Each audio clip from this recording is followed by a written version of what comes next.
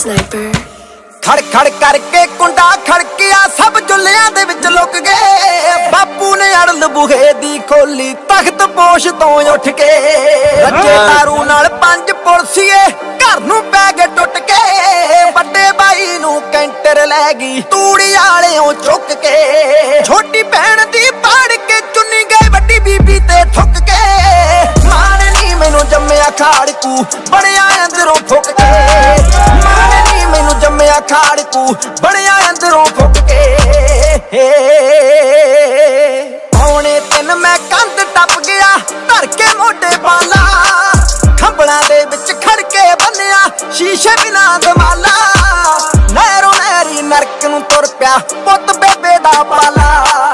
ਸਾਲ 18ਵਾਂ ਚੱਕੀ 47 ਕਹਿ ਕੇ ਮੌਤ ਨੂੰ ਮਾਸੀ। ਚਾਕੂ ਦੇ ਨਾਲ ਲਿਖਿਆ ਰਾਤ ਨੂੰ, ਛਾਤੀ ਉੱਤੇ 84 ਨਾਲ ਲਿਖਿਆ ਰਾਤ ਨੂੰ, ਇੱਕ ਦੇ ਉੱਤੇ 84 ਹੋ ਮਾਂ ਨੂੰ ਮੁੜ ਪੁੱਤ ਮਿਲੇ ਨਾ।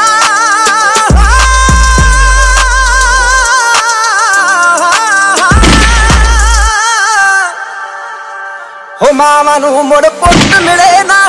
ਬੈਗ ਕੱਚੀਆਂ ਡੰਡੀਆਂ, ਕਿੰਨਿਆਂ ਘਰਾਂ ਦੀ ਲੁੱਟੀ ਲੱਗ ਜਿਸਮ ਦੀਆਂ ਮੰਡੀਆਂ, ਚੁੱਕ ਚੁੱਕ ਮਾਰੇ ਮੁਝ ਫੁੱਟ ਗੱਭਰੂ, ਕਿੰਨੀਆਂ ਹੋਈਆਂ ਰੰਡੀਆਂ।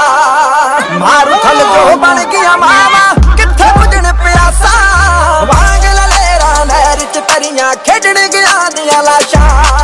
ਵਾਂਗ ਲਲੇਰਾ ਨਹਿਰ ਚ ਤਰੀਆਂ ਖੇਡ ਗਿਆ ਦੀਆਂ ਲਾਸ਼ਾਂ। ਹਾਂ। ਮੈਂ ਸਰੀਰ ਦੇ ਮਰਨ ਨੂੰ ਮੌਤ ਨਹੀਂ ਗਿਣਦਾ। ਜ਼ਮੀਰ ਦੇ ਮਰਨ ਨੂੰ ਮੌਤ ਗਿਣਦਾ ਜ਼ਮੀਰ ਦੇ ਮਰਨ ਨੂੰ ਮੌਤ ਗਿਣਦਾ ਬੇਡਰ ਤੋਰਾ ਨੀਲਾ ਚੋਲਾ 6 ਫੁੱਟ ਜੁਸਾ ਲਸ਼ ਹੱਥ 'ਚ ਤੀਰ ਤੇ ਵਾਂਗ ਗਾਤਰੇ, ਰੱਖਿਆ ਪਿਸਟਲ ਕੱਸ ਕੇ।